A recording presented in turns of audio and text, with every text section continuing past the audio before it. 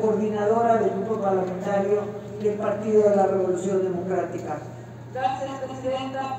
A nombre del grupo parlamentario del PRD, sumarnos a las distintas expresiones en relación al desempeño que ha tenido usted como Presidenta y también la mesa directiva, el equipo técnico. Esta es la última discusión que esta legislatura, esta legislatura da en torno al presupuesto.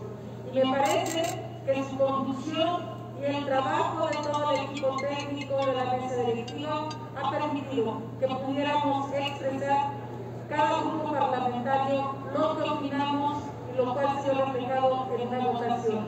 Felicidades a todos ustedes. Muchas gracias.